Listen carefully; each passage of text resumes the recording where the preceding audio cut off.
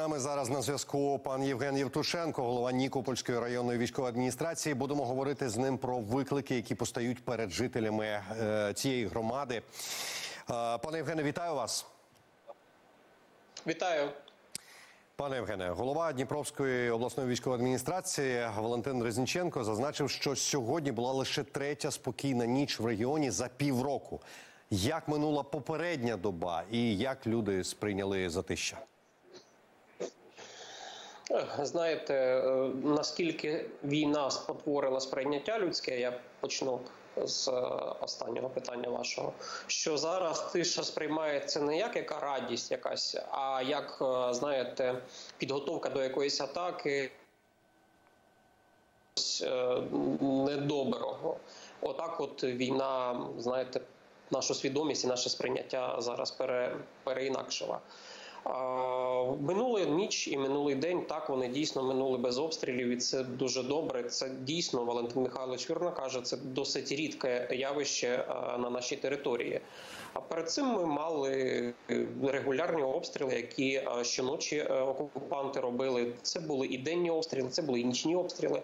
Вражаються всі території району, які розташовані на березі водосховища. Тобто мова йде про Марганецьку громаду, Мирівську громаду, Червоногригорівську громаду, Нікопольську міську громаду. Покровську сільську громаду досить великий об'єм територій, на яких проживає до 100 тисяч людей, наразі знаходиться під вогнем і під постійною загрозою вогню окупантів. А наскільки ушкоджена інфраструктура і чи багато приватних будинків зазнали руйнування? Про які збитки може йти мова? Я вам наведу це там декілька показників, щоб ви мали уявлення. Більше 700 е, багатоповерхових будинків пошкоджено наразі. Майже 2 тисячі приватних будинків пошкоджено. Пошкоджено майже всі комунальні заклади в береговій зоні. Мається на увазі заклади освіти, заклади медицини, заклади культури.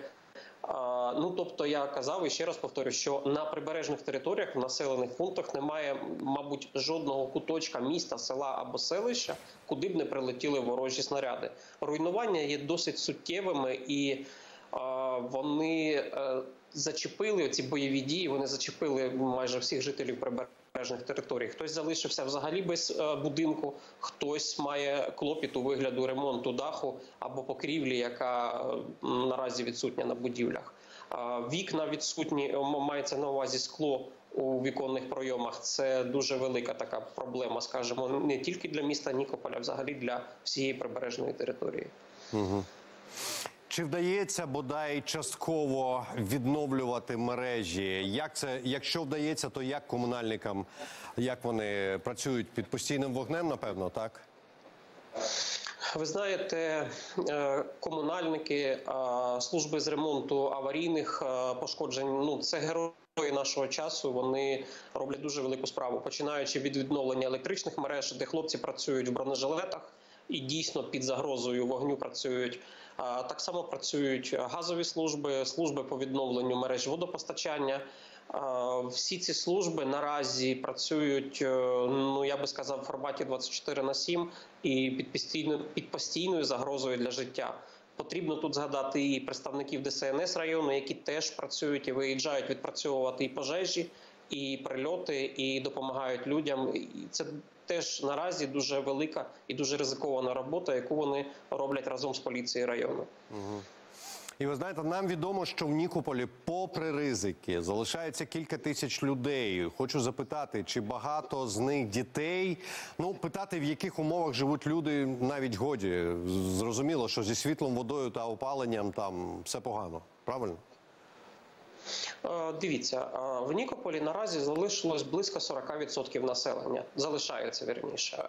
Частина виїжджала на літо. Зараз вони повернулися назад. Тобто, ми маємо таку, знаєте, певну міграцію в межах району або в межах області.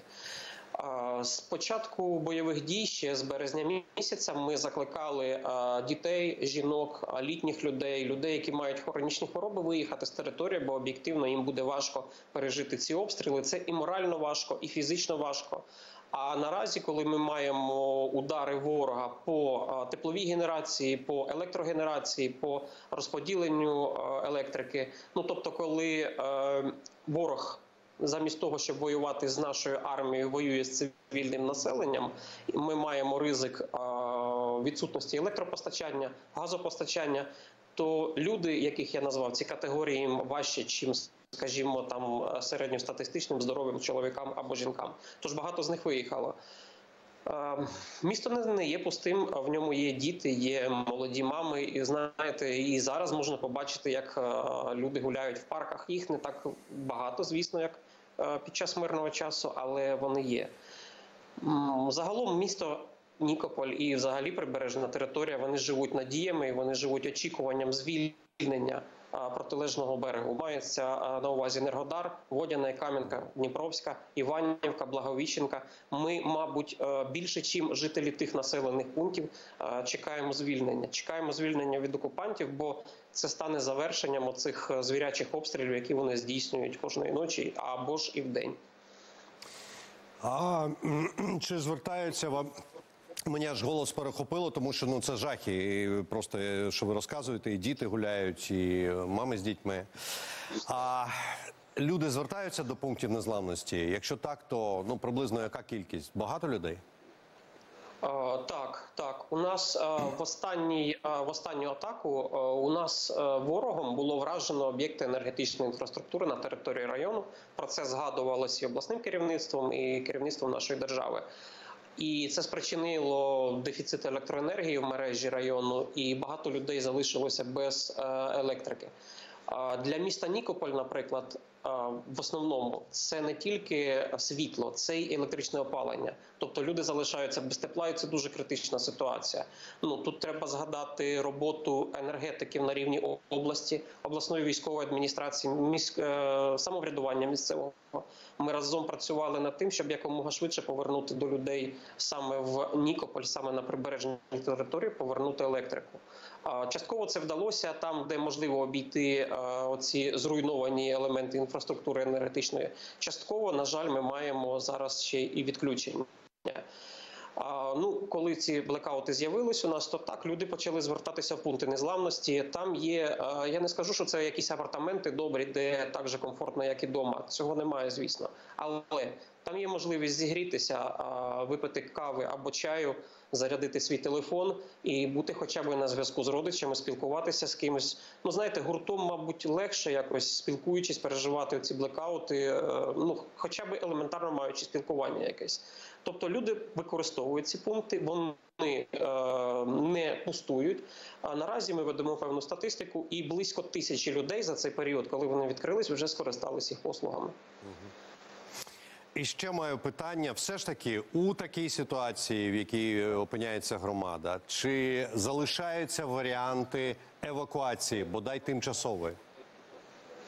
Ви знаєте, наразі, як і з початку окупації протилежного берегу, так і до сьогодні, відкриті всі автомобільні шляхи.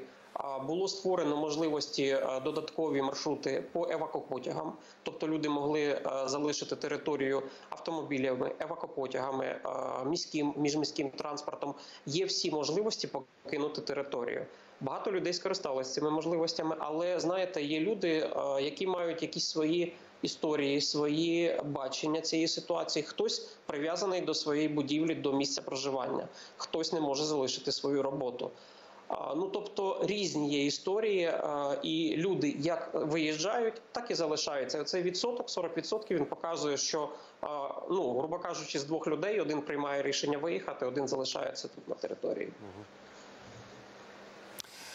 Пане Євгене, я вам дуже дякую за вашу роботу насамперед. Ну і звісно, за той час, який ви нам приділили. Це Євген Євтушенко, голова Нікопольської районної військової адміністрації. Дякую, вітаю вас з Різдвом.